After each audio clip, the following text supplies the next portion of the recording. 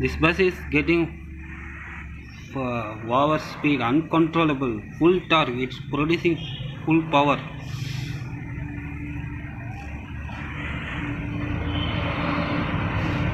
It's the wrong way.